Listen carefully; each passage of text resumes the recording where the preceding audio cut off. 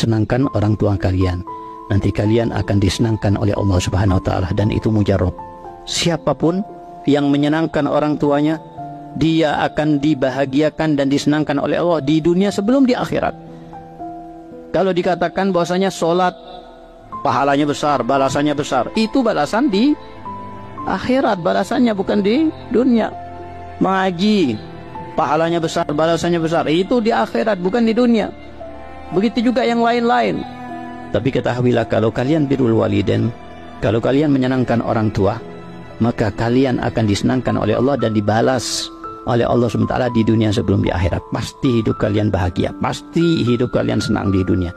Sebelum di akhirat, kalau di akhirat sudah jelas. Tapi di dunia kalian akan hidup senang. Jadi kalian kepingin hidup senang? Ya senangkan orang tua kalian.